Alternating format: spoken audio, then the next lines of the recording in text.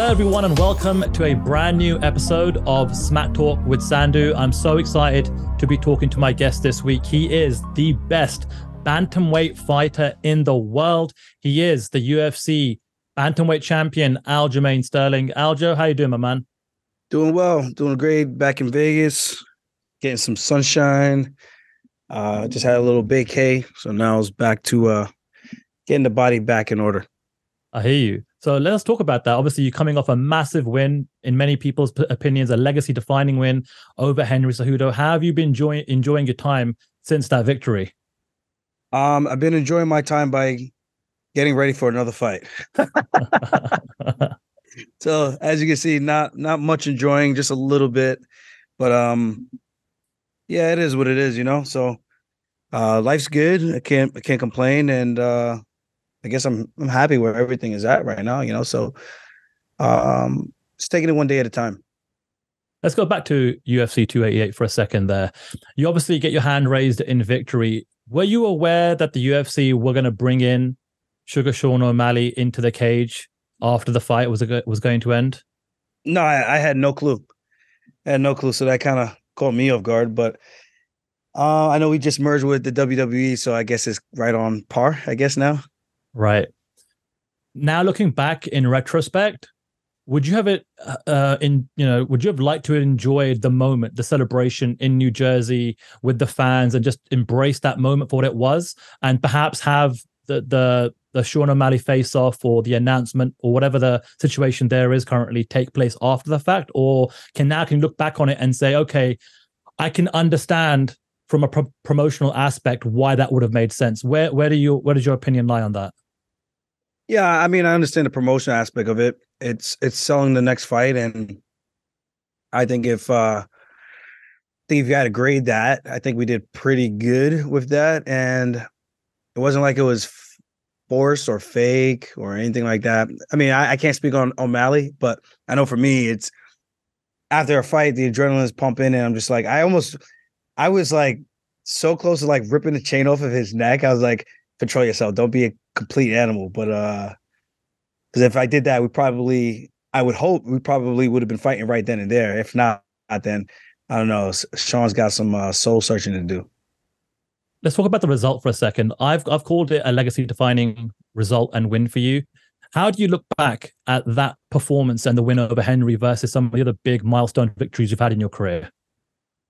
Man, in terms of like fight IQ, wanting everything that you could want from a mixed martial arts standpoint, um, conditioning, technique, uh, skill set. You know, it's just everything from strength, uh, just seeing all varieties of stuff, seeing me work a little bit of BJJ, seeing some of my my funkiness, my scrambling ability. You got the wrestling aspect. You got to see the the Olympic gold medalist get taken down by the D three wrestler um, that could. and uh, you got to see some striking as well. So I think you, you kind of got the blend of everything that you could want and ask for in an MMA competition. So in terms of me rate rating that, I think it's it's at the pinnacle of my career in, in regards to all the other fights, just because of the accolades and how much was on the line for the both of us, not just for me potentially breaking the record, um, and not just for Henry coming back and doing the unthinkable that most people are not really able to do. Coming back from three years is hard to do. I think he might have thought he was Jon Jones when he had to remember, no, you're Henry Cejudo in a much more stacked weight class compared to heavyweight and light heavyweight. You know what I mean? And that's not a slight at Jon by any means. It's just the reality of things. The lighter guys tend to have more skill pound for pound. And you look through all of us from the the from champion all the way down to like top 20 overall, most of us are pretty well rounded in comparison to those other weight classes that are bigger than us. So, yeah, you had two of the best guys to ever do it. So for me, um, taking a guy out like that, and it, it, this split decision nonsense is so crazy to me because I felt like we both knew after the fight who won the fight.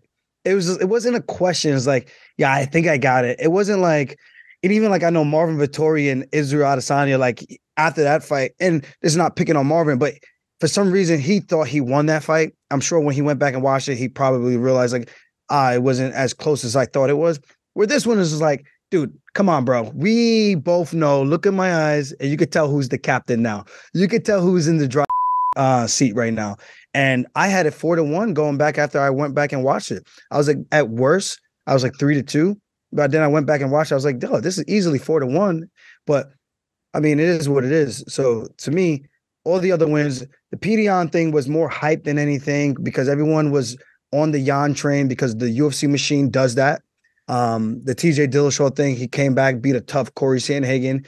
But for me, like as an analyst, as a competitor, the way I break down the fights, I'm the one that's getting in there and I can see what's what and be honest with myself and my abilities versus their abilities and see where the trouble is going to lie. And for me, on paper, this was by far the most competitive fight that I could have in the division right now. Yeah, I had Henry on my show and kind of he kind of shared his thoughts on the scorecards. But what's amazing is his some of his recent comments and quotes. You know, to hear him call you the greatest bantamweight of all time. You know, forget the result and forget the the split decision, the, any any controversy, debate, whatever. But now that enough time has passed and he can reflect back on the result, the fact that you won, and he's calling you the goat bantamweight. How do you how do you take that, man? It's uh, it's it's cool to hear from a guy like Henry because he doesn't really give those type of compliments, especially to guys in his weight class. At least that's the way I feel. And um, you know, I'm not trying to be like arrogant or anything, but it's I'll just leave it at that. I think it's cool for him to acknowledge and say something like that. I know that's not something for me to debate. It's up to the fans and the the consensus for them to kind of go out there and do their own research. I'm comfortable in my own skin. I'm comfortable with my record and my accolades and everything I've achieved thus far. So um if people want to put me in that conversation, great. If not, hey, life's still good. Like my life doesn't change whether or not I'm in that conversation or not. You know, uh, at the end of the days, numbers don't lie. You know, so um, my my whole thing with that conversation has always been, well, I feel like the WEC wins should count with the UFC wins the same way Strikeforce wins were counted with the UFC merger. So if you look at it like that, then I, I feel like I still got some work to do. But other than that, I'm out here doing the damn thing, man. And it is what it is, man. We're gonna keep on grinding, keep adding more to the resume. And the next the next stop is uh the the sugar factory and uh removing all those cavities, man. And uh getting it done to add one more to the to the hit list. Yeah, you kind of mentioned, you know, the, the stats and the numbers don't lie. You know, most wins in UFC bantamweight history, longest active win streak in UFC bantamweight history and you talked about Suga Sean O'Malley. Is it official? Like, have you signed a contract? Is this all going down at UFC 292 in Boston on August 19th? Man, if I tell you guys when I signed these other contracts, like the actual date of when I signed them, like the contract is all formality type of thing. So when people look at that, I think people are looking too deep into what that actually is. It's it's not like the contract doesn't really mean anything. I say I'm gonna fight, I'm gonna fight. You know what I mean? Uh literally signing the contract to me doesn't really matter much. It's just more of a like legally binding versus anything, if that makes more sense. Mm-hmm. Um, and yeah, we'll, we'll, as of right now, the that's that's the fight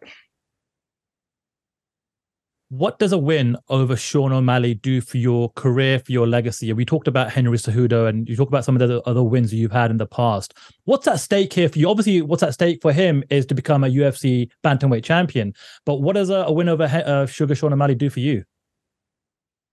I think it just adds another notch in the belt. That's that's really it. It's not like this this name in particular is just a very popular name with the young kids who are playing Fortnite and things like that, kids that like to sit home, smoke weed, and tattoo their faces. Um, so that generation of people that, you know, kind of like the rebels, I guess. Um, in terms of what it does for me, I mean, the Henry win versus O'Malley win is two completely different things. One is just a competition. The other one is a competition in legacy and accolades. The other one is more just competition and maybe eyeball value. That's that's really it. But in the sense of sport, um, he's still a young buck in this game. Whether or not he's been tested, I, I think we got to give him the nod now with the the win over Petr Yan. And although I still, I'm like, I watched that fight again, and I kind of gave the nod to Petr after watching it again. I'm just like, I don't know. I think that one is actually a split decision because I feel like depending on what you're looking at, could kind of sway your perception or decision on who you think should get the nod. It was a very close fight. And I think the Suga Show has arrived. But again, there's levels to this man. He hasn't fought anyone who's a high level grappler. He hasn't fought anyone of his same size. He hasn't fought someone who's as strong as him or stronger, I should say. And I think when he steps in there with a beast like myself, it's going to be completely different. He's going to realize really, really quickly that, as I say, what it is, it's there's levels to this. Um, he can say whatever he wants about my striking, and you better you look like shit tonight. You better look better than that. Hey, there's a reason why everyone looks at me on tape, and they think what they think. And as soon as that cage door locks and we lock up, it's completely different. What looks like it's going to be an easy target, it's a lot harder for them to hit in real time. And I think that's the difference. It might not look pretty when you're watching it from your seats, but there's something special happening in there. And me and my opponents, we always tend to see and figure that out. And Sean's going to be no different. When he gets in there with me, he's going to realize I'm harder to hit than he thought and harder to hit than he expected. He's going to realize that I'm stronger than he expected. And uh, I'm as good as I say I am. Have you been impressed with what he's been able to do outside of the cage in terms of the marketability, you know, building his name, building his brand. You know, there's a lot of fighters out there in various divisions that are on like six, seven, eight fight win streaks that aren't sniffing a title shot. And I think Suga Sean O'Malley has been able to do a lot of that with the the persona and the personality that he's built here with you. I I don't even know what persona that is, man. I listen to him talk and some of the stuff, and, and it's just this bland monotone thing. And I'm like, I don't see what the hype is. There's him and Conor. What people were comparing him, oh, he's the next Conor. I'm like, where? There's nothing what Conor brings to the table in terms of persona, wittiness, charisma. Sean doesn't have any of that. The only thing he has is, a, a, I guess, an exciting fight style because he's a stand-up artist. But when's the last time he actually KO'd somebody? When he actually fought someone of merit, he fought Pedro Munhoz and couldn't help himself but poking his eyes out. He fought Petr Yan and it was a split decision. He barely got out of that. Um, and then what's the other one? He fought Chito and he flunked that test. You know, I'm not saying those are fights from the past. Like, yes, you're going to get older, you're to get experience, you're going to get better. But in terms of what he's actually done, I mean, like, I'm only calling it how I see it. He's got a long, tough hill to climb. And if he thinks cutting the line to get there is going to hide those imperfections and those insecurities, I'm going to be that boogeyman on August 19th, and I'm going to make him look at himself in the mirror and take a deep breath and realize you have to now face who you think that you are, and you're going to have to see that reflection in the in the version of Aljamain Sterling, you know, and that's just what it is. Again, like what he's done outside of that personality, persona, that shit don't matter when the cage door locks. Yeah, good for him. I'm glad he's making money on YouTube. I'm glad his YouTube channel is doing well. Um, I would like to take some notes if I'm being honest uh, and and catch up to him. But it seems like what people like about his channel and what they like about mine is like I'm giving you the realness. He's giving you more like I don't even know him and uh, Red Hawk over there. I I don't know. It's like if you want the real deal, you come over to the real show. You see what I'm saying? If you want real insight, you go to Henry. You go to myself. You go to who else? Volkanovski. You go to real people who's actually giving you real value. With him, it just seems like more entertainment versus anything. And even that entertainment factor for me is very subpar. So I think the kids just like him because of the tattoos on his face and his hair is colored and he looks like a rebel. It almost gives him like that. Oh, he not he doesn't. That's kind of how I want to live my life. I can relate to this guy, but that ain't the real life, kids. Kids, you're gonna have to eventually grow up and get a real job. you know, so unless you're gonna come to MMA and start fighting, hey, hey, to each his own. That's all I can say. I'm not hating on the guy. Go get your money, Sean. I hope we both make a lot of money together. But at the end of the day, I'm coming in there to do one thing, and that's to smash the this guy. Yeah, when I spoke to Henry about breaking this fight down, he said it's you know it's gonna be very very easy for you. He he sees that you just take him down, ground and pound, and it's done in like you know within the first round. Is that how you potentially see this fight playing out? I think that's the difference between Henry and I. You know, as as well accomplished as he is, he calls fights easy. I don't call any fight easy. The last time I called a fight easy, I was staring up at the ceiling and I didn't come to my senses until I woke up in the hospital, and that was against Marlon Moraes. And ever since then, what happened? You know what I mean? You know, I was good before, but I think that just kind of awoken me to a new level. Like you got to respect everybody. And that's why I respect Sean's game. I know what he brings to the table, but I think on paper, I bring a completely nightmare stylistic matchup to him, and it's up to me to go out there and make sure that happens. Yeah, I should be able to go out there and just walk him down, take him down, but that's not the game. He's got really good footwork. He's really long and lanky. He's actually got a longer reach than I do. He's taller. The difference is though, just like Sandhagen and a guy like Jimmy Rivera, Henry Cejudo, short and compact, harder to get underneath them and take them down versus a guy who's tall and lanky. It's more so me slipping, covering up, taking a shot or two, getting inside, closing that distance, getting my hands locked, and then from there just folding them. And I think that's that's the game plan. But again, easier said than done. He's got really good footwork, and if you ever try to shoot on someone who's moving, it's extremely difficult. So I got to make sure I'm not running into anything. But again, if I do my homework, I see the feints coming and I draw out his attack the right way, or he freezes up and second guesses himself and allows me to close that gap. Yeah, that's a short night. I was going to ask, how is the the weight cut to 135 these days? Because every time I see you, you're looking more ripped, more jacked, more muscular, more, you look stronger physically every time you step into the cage. How how much longer do you think you can sustain uh, a career at bantamweight before you inevitably have to move up? Uh, I'm gonna say or learn. This is probably my last fight at bantamweight. So you're getting the good. You're getting the scoop on that first. Um, more than likely is, and it's not. If I even if I were to learn and I didn't get my hand raised, it, it's damn sure and because of Hen, uh, Sean O'Malley running me out of the division. It's more so getting old, man. It it hurts. You think I wouldn't like to just turn around, like, yeah, I could turn around and go fight 145 and go fight three months, three and a half months later, which is pretty much what this fight is. You know what I mean? Uh, it's the weight cut, and it's kind of disingenuous and kind of um, kind of a. I'm gonna call it what is a real tactic to want to say openly to people like yeah i know that weight cut's going to be hard for him to turn around and do it again that fast and i know he's still going to be banged up coming into this one so yeah we we know it's going to be a tough fight but we know th- these things going in that's some if it's me i want to fight you at your best not when i can feel like i could get you when you're weak yeah some people might say it's smarter to do that yeah it is tactically but you get no respect for that and if you go out there and get smashed even having those advantages going in bro you should reevaluate your career and see what you really want to do. You know what I mean? So that's my mentality going in. You want to take the the easy road and, and try to be a little to get somebody in there faster. Um, because you know you're gonna have those those advantages. Because I just came out of a really tough fight with Henry. I banged up myself, beating the crap out of Henry more than he's did to me. You know, so Henry's over here jumping at the bit. Ah, if he doesn't want to fight, I'll jump in, undercutting me and trying to be like this hero when all it does is make you look weak. You you you you take away any. I, I I'm not even gonna go into that, but he's doing himself a disservice by saying that, and I, I'll just leave it at that. Henry going out there and saying, throwing his, let the opportunity come. Don't don't start running your mouth and saying things that you don't need to say because at the end of the day, the only person that you hurt is yourself. But I'll leave I'll leave that at that and let people kind of take their time and use their brain to kind of figure out what that means. But um, yeah, this like I said, want to learn. This is probably more than likely my last one at bantamweight. That's and huge. then Merab could go out there and terrorize everybody. For sure. I know you got, you know, Merab waiting in the wings, but that's huge. And I was gonna say, like, you know, February of 2024 will be 10 years, a decade for you in the UFC.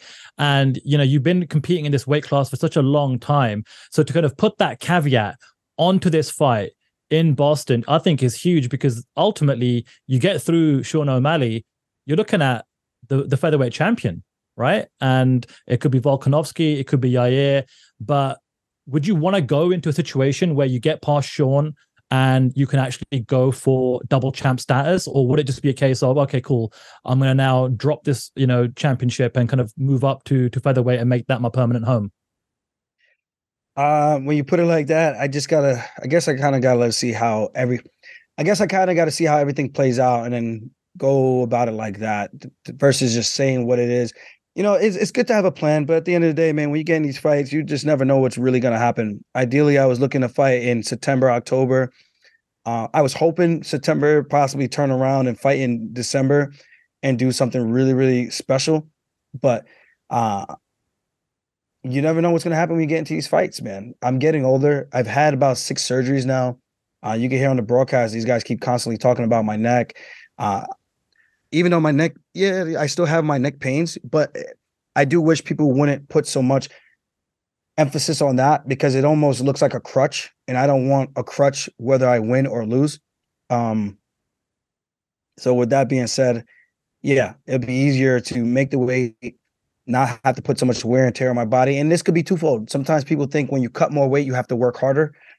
Uh, I think it's a little twofold for me where I won't. I I'm still big enough where I'll, I'm going to cut a sizable amount of weight still to get to 145.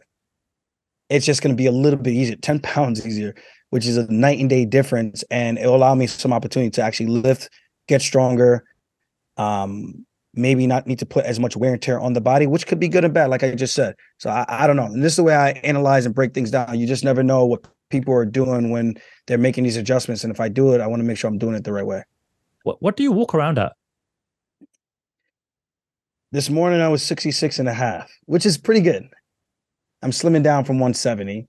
And I, I, I got like four abs in there. I kind of see some some little ripple effects in there a little bit. It's not quite like a like a washing machine, a board washer yet, but uh, you know, a couple of weeks of training and we'll be back.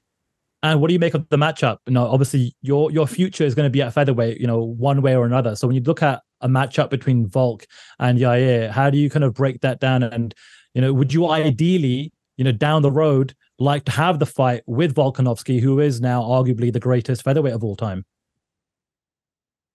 I mean, it'd be cool in terms of name value, I guess, at this point in both their careers. But in terms of the the more dangerous fight, man, if you know anything about MMA, you know anything about kicks, that Yair guy, he that's that's the one. That's the dangerous fight. Even like I look at it, I know my coach and I were talking about it, and uh he was saying he thinks that's an easy fight. I'm like, no, bro. He knows how to fight off of his back now. He's not letting you just take him down and hang out. He's doing damage from his back. He's throwing up submissions from his back. He can kick. He can be free on the feet, knowing if he gets to the ground, he can still have success there. Versus before, when he had those fights with Frankie Edgar, he got taken down. It, it just, you know, obviously wasn't good.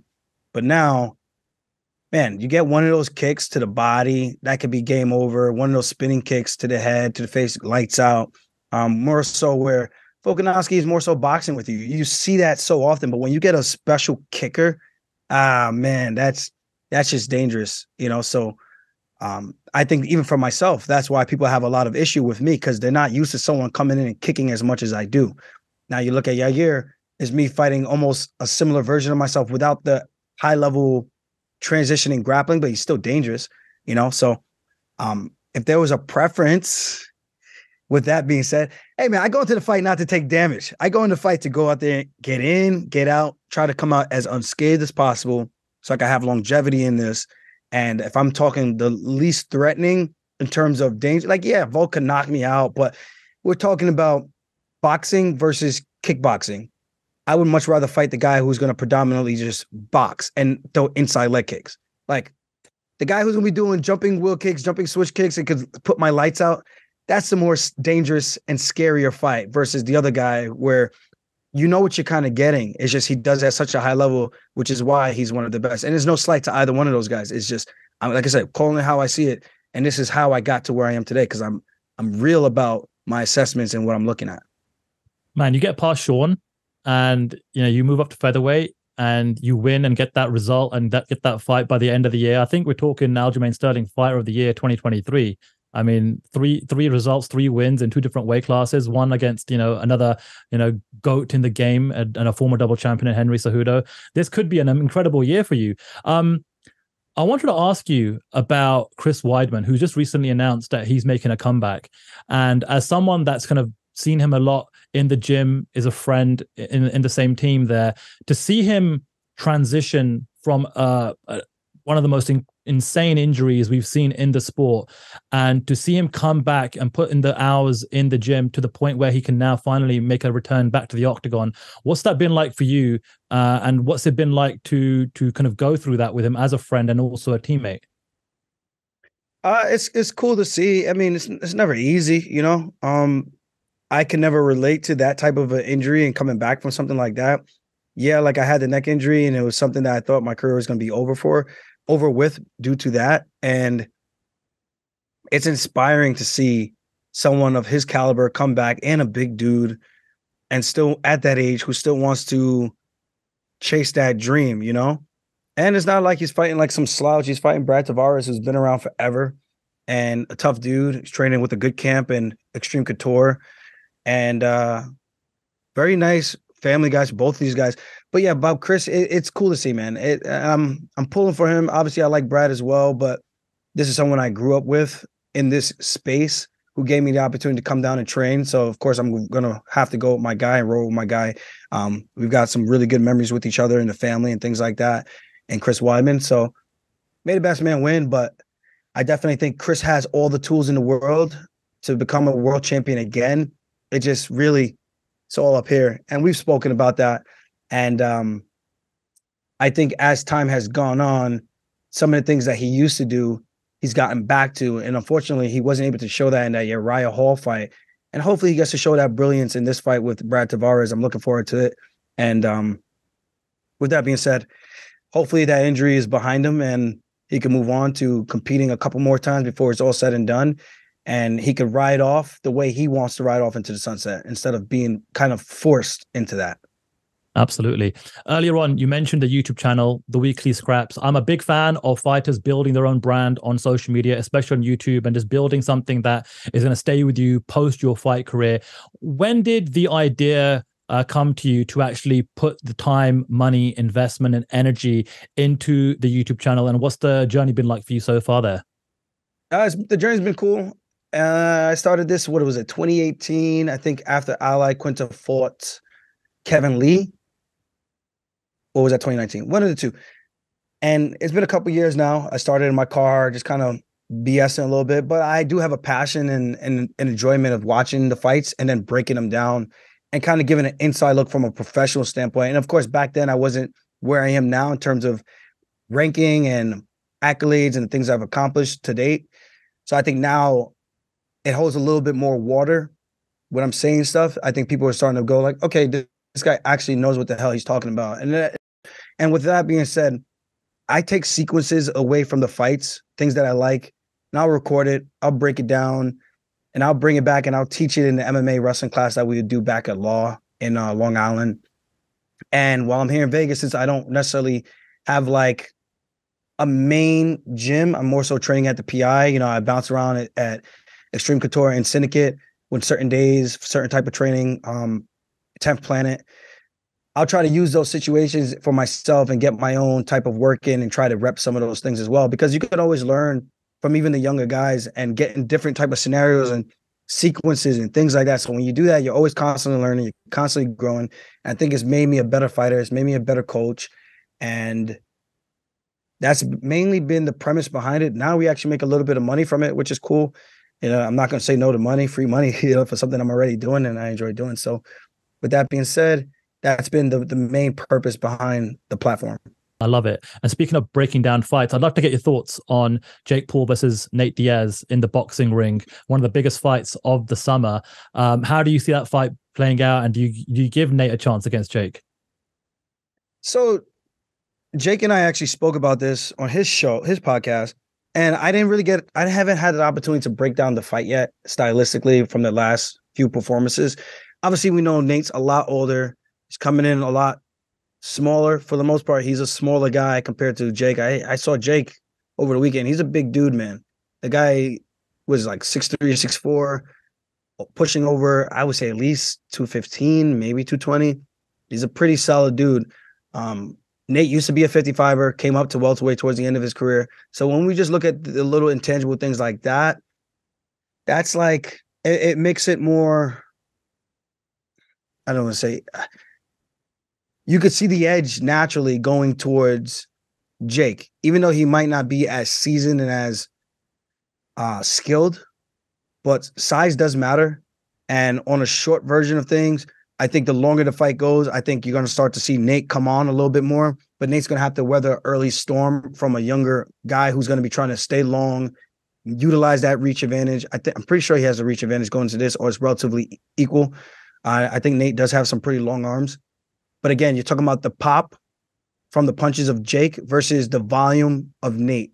And that could be the difference, you know? So just looking at it like that without going back and reviewing the past few fights, Jake looked okay against Tommy Fury, where Nate's a better boxer by trade based on what we've seen over the years. And again, Father Time is undefeated. So with just that being said, I think it's kind of hard to count Jake out of this one. But it would be good for the MMA world for Nate to get the dub. Everybody wants to see Nate win. I want to see Nate win. I'm a big represent Army fan, Diaz Army fan. You know, those guys were pioneers of the sport. And uh Jake knows what he's doing, man. He's picking the right matchups, man. He's trying to get himself these these right spots and position himself to win for success and catapult his name off of names that are already big, even though he was already a big name himself. But he's doing it the right way strategically. But you know, it'd be cool to see an upset or at least a competitive fight. I just don't want to see Nate get rolled over because of the size. It'd be nice to see Nate come out there and represent and go out there and do his thing and uh, put on a good show. That was a hell of a breakdown. I love it. Um, just a couple of more things, and we're going to wrap it up here. And I appreciate the time that you're given. Um, I saw that you're thinking about, uh, or the ball has started to roll in the right direction in terms of you having your own rum. Is that true? Yeah. So we got a couple samples that we already did. Um, we're just trying to revamp a couple things. Uh, you know, there's some small details. You know, I can have it be Caribbean rum and be ready to go for the next fight, like some samples out ready to roll out but I want it to be purely Jamaican rum. And I don't know if that matters too much to the masses as long as it's a good product. But to me, I kind of want it to be more endearing to my heart, where it's more authentic to my background. Like Conor's got his thing it's Irish whiskey, you know? I want this to be Jamaican rum, you know? So if I can get it that way, it's just more of a production situation and how long we're willing to wait versus kind of having it majority Jamaican rum, but have some other blends for some other Caribbean islands and having it ready to go on the shelves in, let's say, two months kind of thing. So that's kind of what we're kicking around right now. We're trying to figure out the logistics of that and see how we can get that settled and see what we can do because we might have to do a limited run. But it would be cool to see what the interest would be like if we did a limited run and see if there's anything we need to tweak going forward. Um, but that's where we're at. So so far so good. I'm actually I was really impressed with the samples that we had before, and actually got another batch coming in. Uh, hopefully by this weekend that I could try and see what else we got in terms of quality. You know, and the main thing I'm doing is I'm trying it cold, I'm trying it warm, and I'm trying it with a little bit of a chaser to kind of get an idea of what the vibe would be like, making sure it's something that you can enjoy in all stages, on the rocks, neat, or um, with a well drink and you want to make sure you appeal to as broad of a mass as you can because rum is one of the more healthier drink choices. I don't know if people know that. When people actually do the research and look it up, go see for yourself. Look what the pirates used to drink back in the day, what people used to drink back in the Caribbean islands all day long. Um, molasses, one of the more he- healthier things that you can put in your body in terms of natural sugars. So if you're looking for something good that can actually help with the cold and things like that, rum is your choice. So I'm gonna make sure we have a good a good batch ready for you guys. It's uh the name is Funk Harbor. So definitely be on the lookout for that. And uh, I'm going to keep everyone posted when it's get closer to actually being like a done deal kind of thing.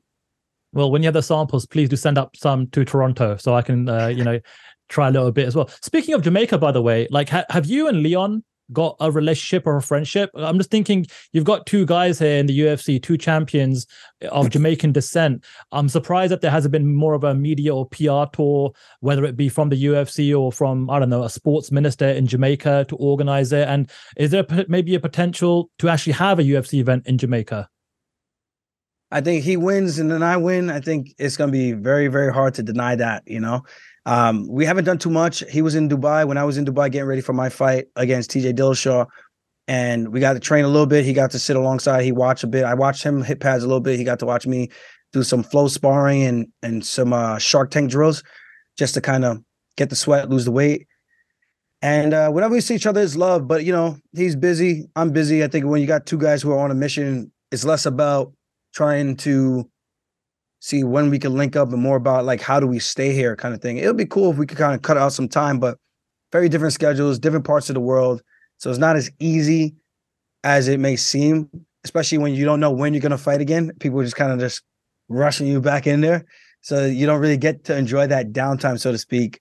But yeah, that's that's more so the way things are right now. So I, I don't think it's anything like not liking each other. We, you know, we've seen each other multiple times taking pictures and whatnot. It's just more so timing of things. Amazing. Aljo, the way I like to end all my interviews and my conversations is something I like to call the bit for social. I know you've been to London. I know the you know the, the London vernacular. So I'm going to throw out a, a bunch of different questions and options, and all you can respond with is yes, bruv, or nah, bruv. All right. All right. Number one, fighting in New Jersey again. Yes, bruv. Fighting in Madison Square Garden, New York. Yes, bruv. Fighting in Jamaica. Yeah, bruv. White rum. Yes, bruv. Dark rum. Yes, bruv. Rematch with Henry Cejudo. Ooh. Nah, bruv. and finally, fighting for the UFC Featherweight Championship by the end of 2023. Yes, bruv. Aljo, you're the man. Good luck with the fight against Suga Sean O'Malley in Boston. I can't wait. Good luck with the weekly scraps. Good luck with the rum. You're an entrepreneur. You're doing big things. You're, you know, one of the greatest, if not one of the greatest, bantamweight fighters, but also fighters. Period uh, that we've had in the UFC. And um, I just can't wait to see what happens uh, when you take on Suga Sean O'Malley and then beyond that as well. So thanks again for your time, and we'll speak to you soon. Thank you, bro. Take care. Thanks for listening to this episode of Smack Talk with Sandhu. It really means a lot to me. And hey, listen, if you enjoyed this episode, please go and give it a follow on Spotify and Apple Podcasts or wherever you get your shows.